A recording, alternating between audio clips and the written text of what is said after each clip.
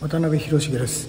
私は今兵庫県の加西市に来ております、えー、これはちょうど中国自動車道の下のトンネルになるんですけどね。北条バスストップというバス停なんですけどね。そこがいろいろ曰くある場所と言われております。そこに今から参りたいと思います。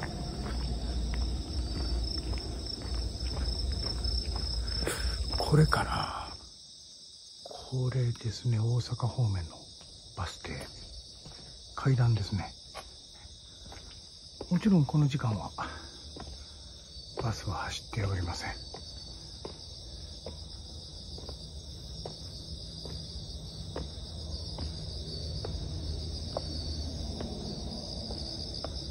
時折この向こうが高速道路なんで車の音は聞こえますね。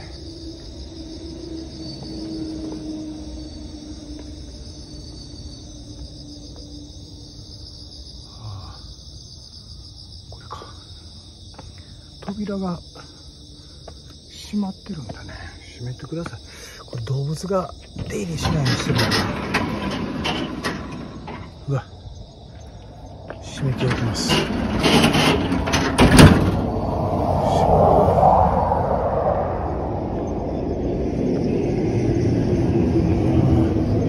バス停か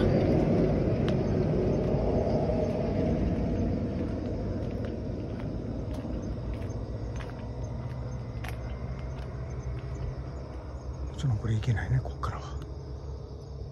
これが中国自動車道の大阪方面に向かうバス停か。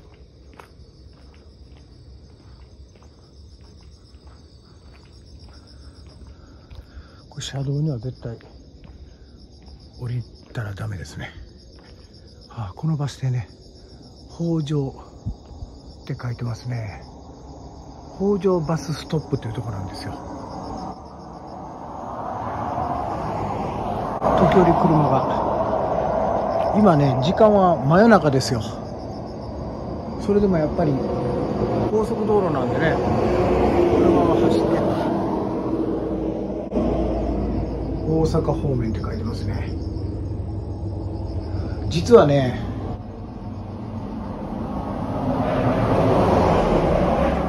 このバス停の中で母親と女の子の幽霊が出ると言われています。まあ今から6、7年前に SNS でそれが言われてね話題になってるんですよ。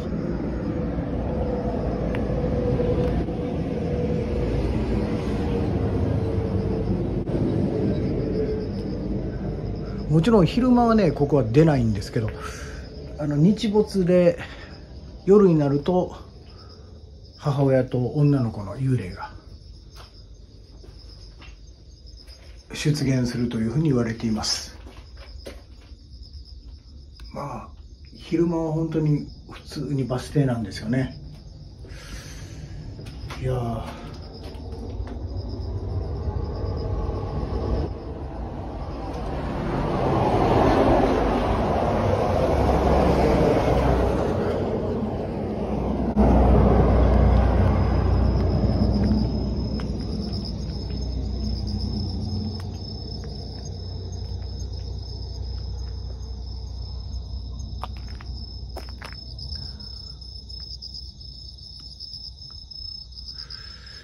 なぜね、親子の幽霊がここに現れるかっていう、この因果関係が実は分かってないんですよね。全く。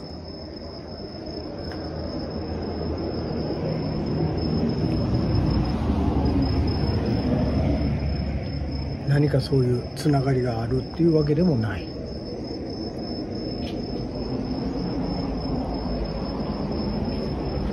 ちょっと座ろうかこのバス停の幽霊ということなんですが私がお世話になっていたラジオのディレクターさんそのディレクターさんに昔ね聞いたお話でその方の幼なじみ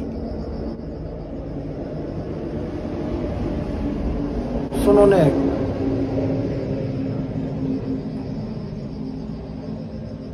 その地元っていうところねバス停がありましてね。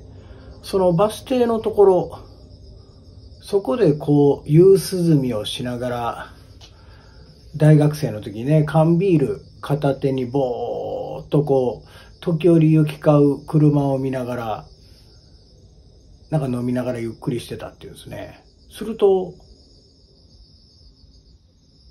トントントントンってね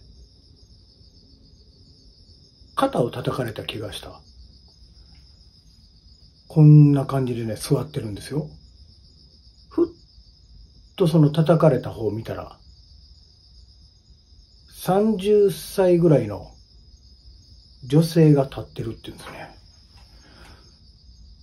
バス停の中、まあもちろん肩を叩かれた方っていうのは、バス停の建物の入り口向いたとこなんでね。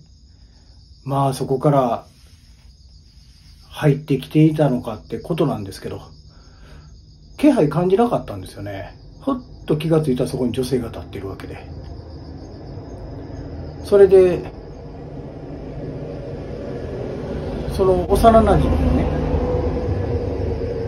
彼は一人ですよ、そこで。バスはもう行きましたかって聞いてきたって言うんですよ。変なこと聞くなと思ってね、時間は真夜中なんですよ。そんな時にバスが来るわけもない。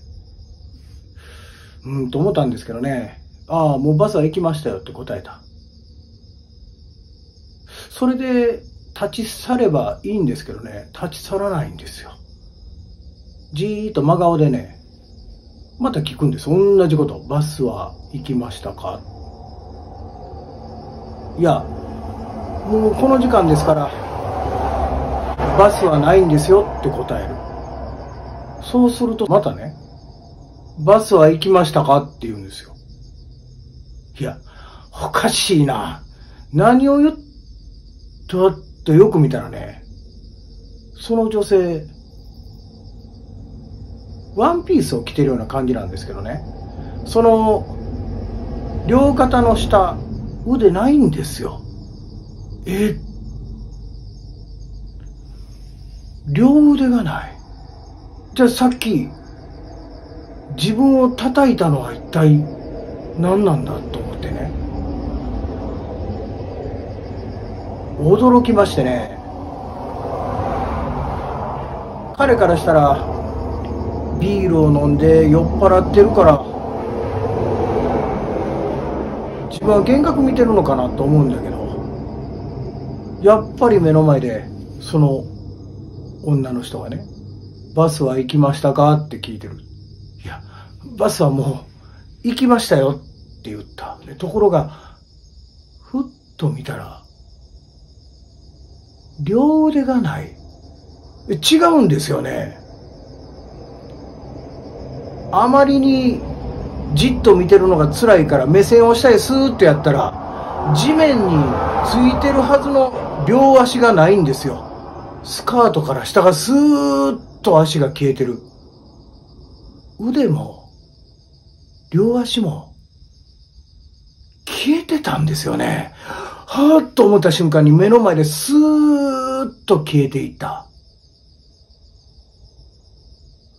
ただそれだけのことなんですよ。その幼馴染びっくりして慌てて、白ラに戻って走って帰ったんだよってね、そのラジオのディレクターさん、私に話してくれましたよ。ただその地元って言うんですけどね、詳しくは聞いてないんです。ただその時に、兵庫県のなって聞いたんですよね。30歳ぐらいの女性、バス停。ひょっとしたらね、私、このバス停の話なのかなってね思って今日実はここ訪れたんですけどね。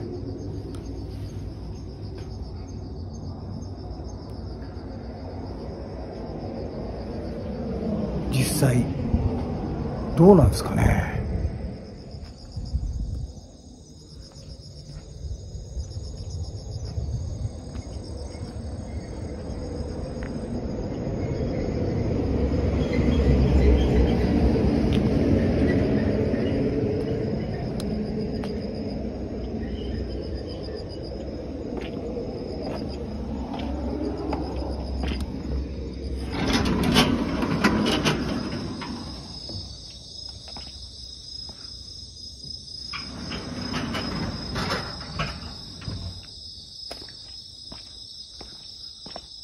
なみにね、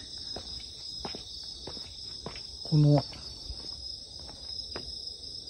バス停、ここに現れる親子の幽霊なんですけど、